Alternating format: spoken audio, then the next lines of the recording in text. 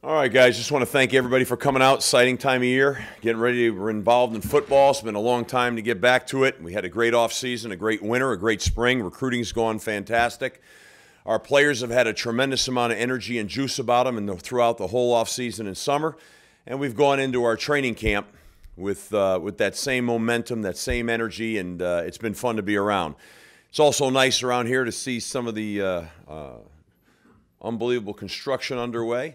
So at the Boston College campus right now is uh, are a lot of good things and uh, fun to fun to be around it. So we're heading into camp. We've got uh, we've improved at all positions. Um, you know our, our our our team is maturing. Um, we have some marquee players. Um, we have some good team speed, and uh, we're off to a good start in training camp, and uh, enjoying watching that. So we'll continue to grind through training camp and uh, watch this team develop and grow. Uh, it's a short amount of time before the opener, so you know we all know that there's a real sense of urgency, players and everybody, coaches, everybody. So, uh, with that, any questions you have?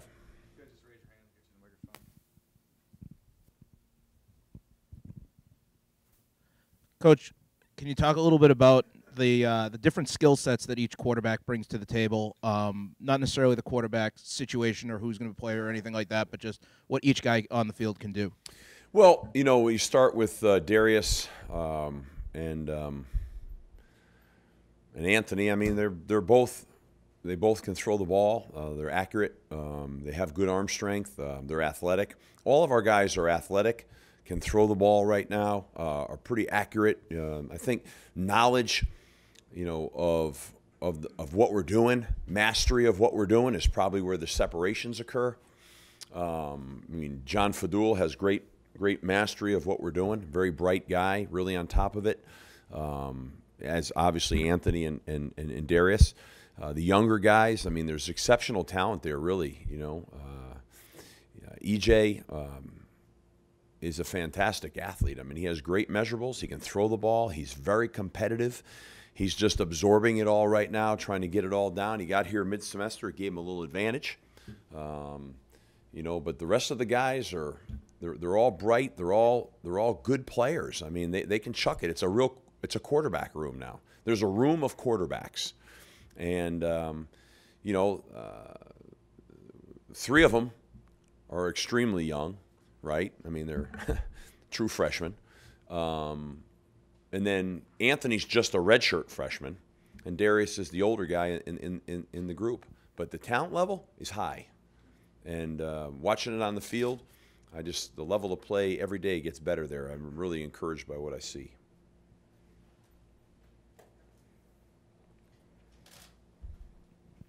Um, John Baker is a guy who um, was kind of forced into a leadership role at a very young age uh, um, due to the graduations of all the linemen the year before.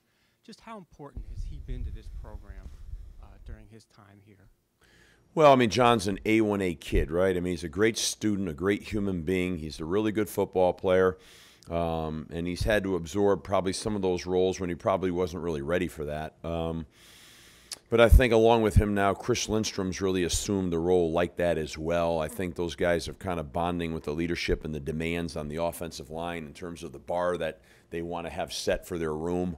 Um, so, you know, as that group matures, which, you know, obviously Aaron now has played for two years, um, you know, and, and, it helps to bring along some of the young guys and even some of the guys that really haven't played that much. So, John is a great role model. He has a fantastic work ethic, and he's a really just a great human being. I mean, and, and a very bright guy and, and, and carries himself the way you should. So he's been a good role model for, for everybody, but certainly in the line, offensive line meeting room. Microphone on. Coach, getting back to the QB situation, mm-hmm. general question.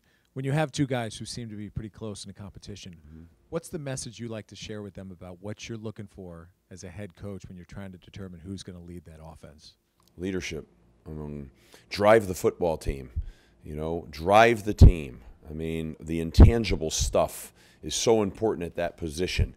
How you carry yourself, how you how your you know how do your teammates, you know, feel you carry yourself? Can are they attracted to you in terms of being a leader? Uh, can you drive them? Can you say the hard things? Can you push the team on the field? All those things are really, I think, very, very important. When you have the right guy, that's happening.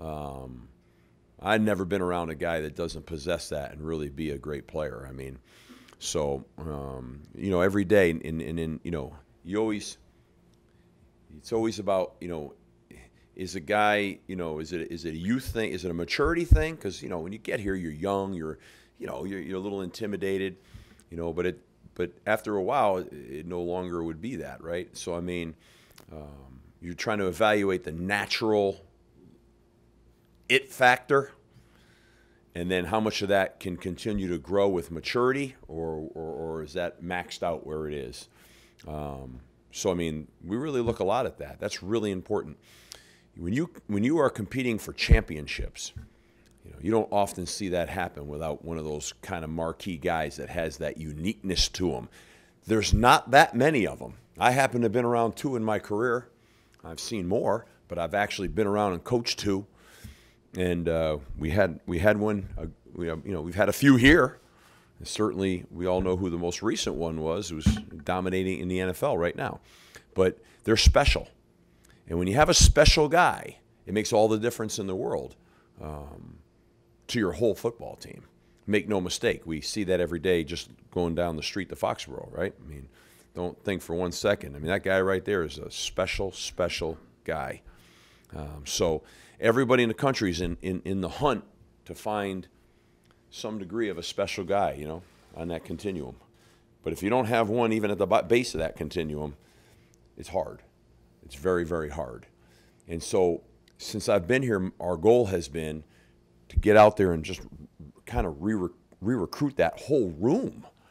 And I, and, and I think right now we, we have re recruited that room now. Now we got to let that room blossom and grow you know, and, and, and how right will you be? I don't know what that percentage is, but you better be right on one, you know. And um, I'm a big believer in, you know, grab as many guys as you can because air on numbers in that room, you know. And, and, and that was something that, you know, when I got here, I didn't have because you, you, you gotta you gotta have numbers in there to create that, you know, because you know it's got to foster, you know you don't know it in year necessarily in year one or two.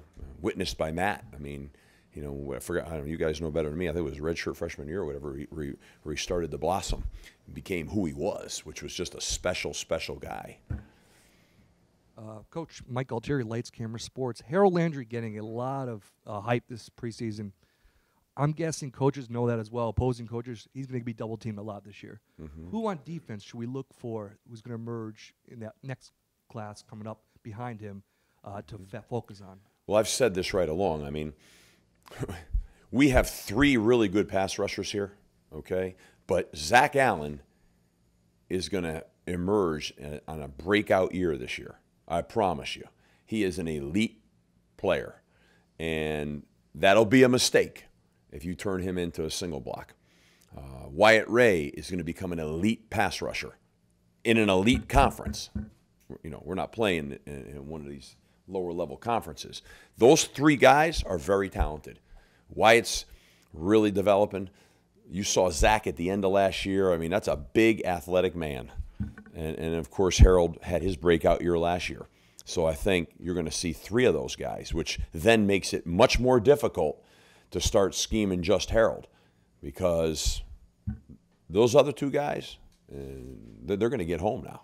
I mean, they're good. Zach Allen is, is he, he's a he's a six foot almost a, almost six foot five, two, 285 pound athletic guy. I mean, he's the real deal.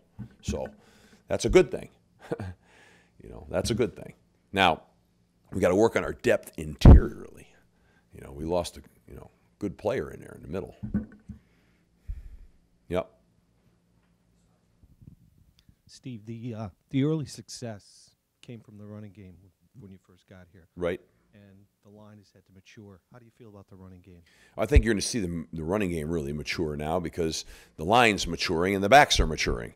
You know, when I got here, um, you know, through some fifth year transfers adding in, um, and then of course Andre, um, but Andre wasn't really hadn't done anything yet.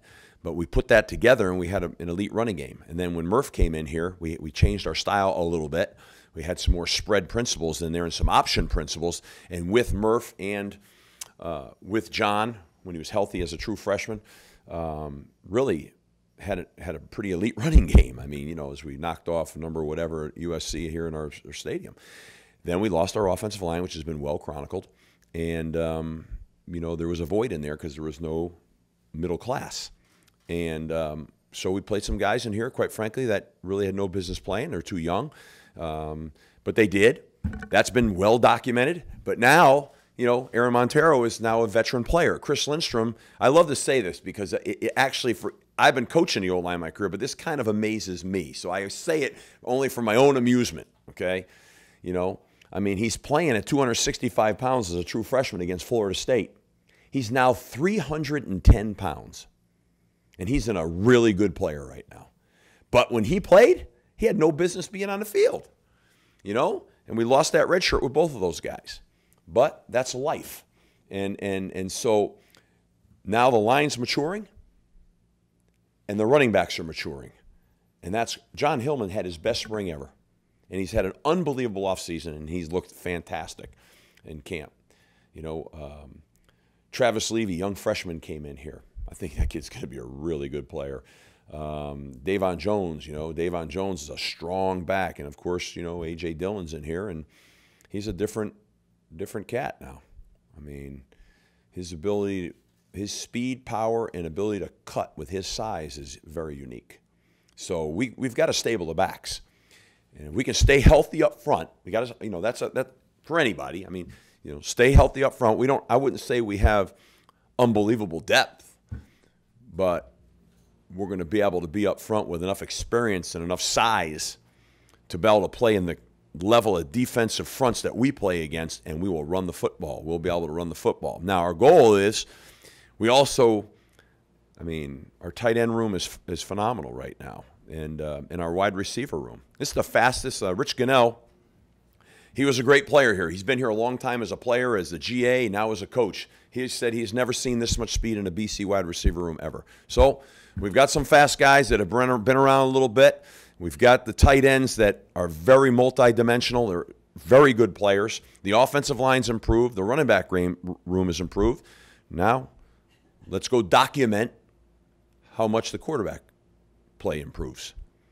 That coupled together will should spark for a, a much needed and much better offensive output.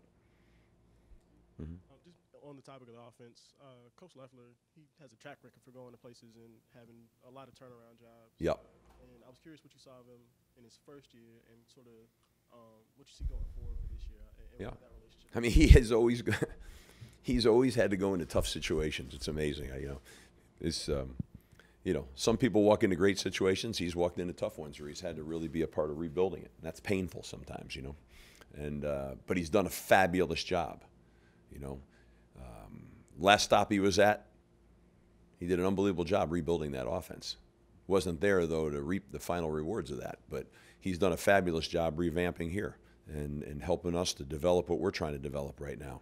Uh, we were together at Temple when I went in there, and uh, he did a great job of that. I mean, he's a he's a, a, a really outstanding quarterback developer, really, and um, a really bright guy, and, and, and a taskmaster and he's done a really good job. You know, this is um, this has been you know quite a quite a big project. You know, on offense right now to to to to to mature our, our football team, to recruit it and mature it, and and and and we feel like we're really heading down a great road right now with that. You know, but uh, but it's been a process.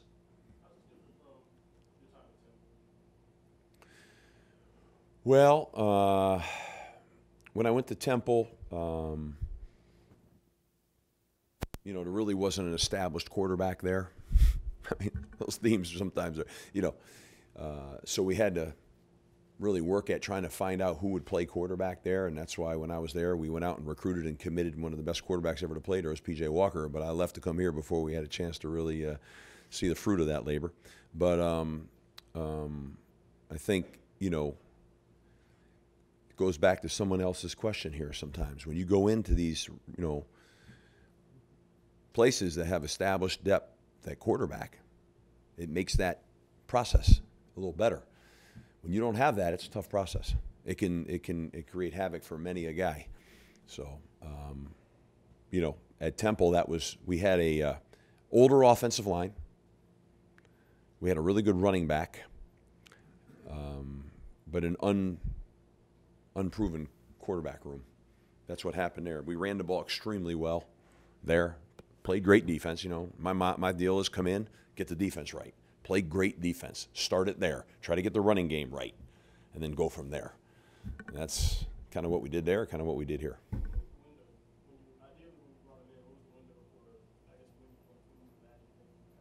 Well, I mean, you'd love it to be immediate, but you know, we all know things. Certain things take time for certain reasons.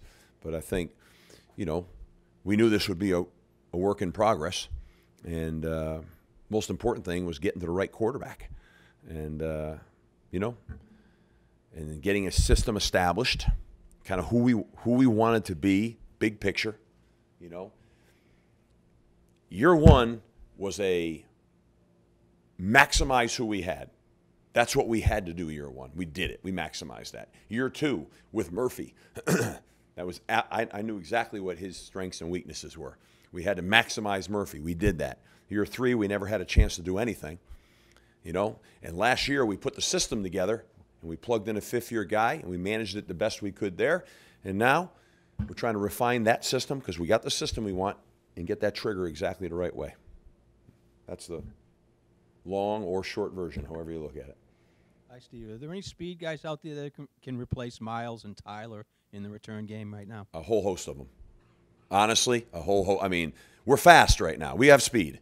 I mean, Jeff Smith is really fast.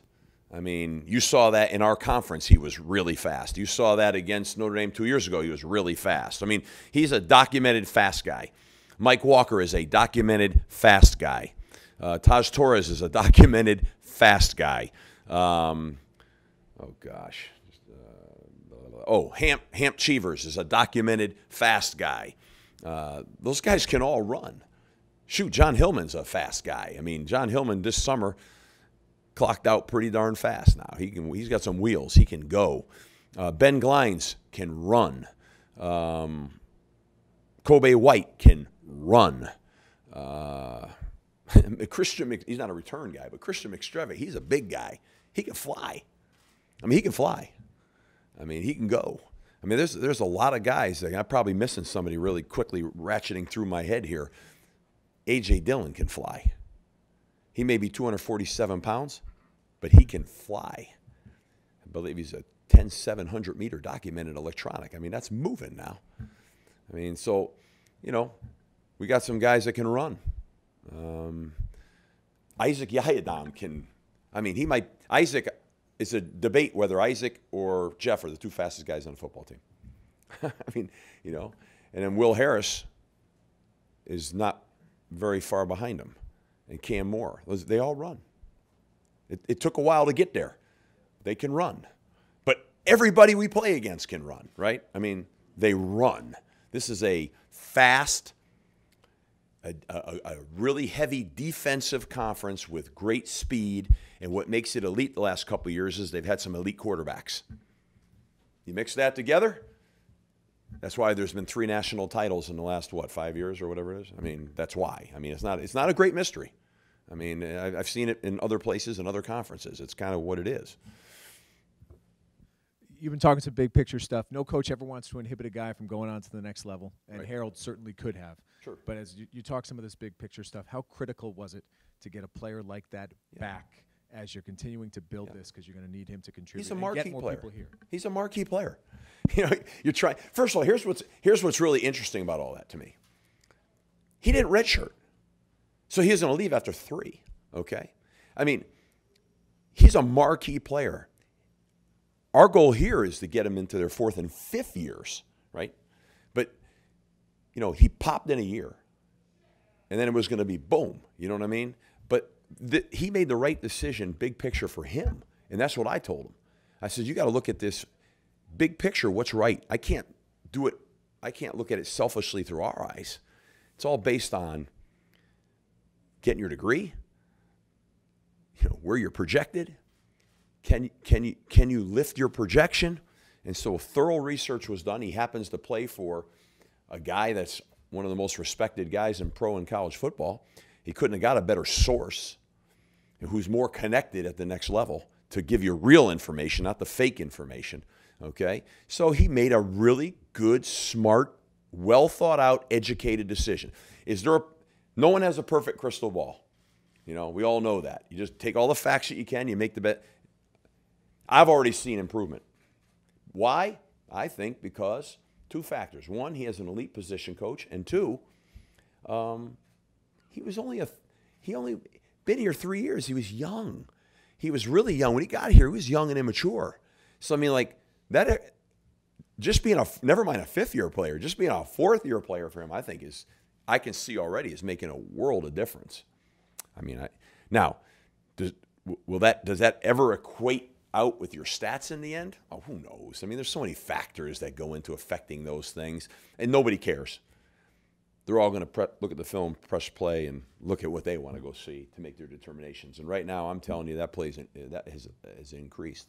So we do. We all keep our fingers crossed. We do the best we can. We try to keep everybody as healthy as we can, and you know, you look back one day and you hope that well, that was a great decision for everybody. You know? but no guarantees for anybody.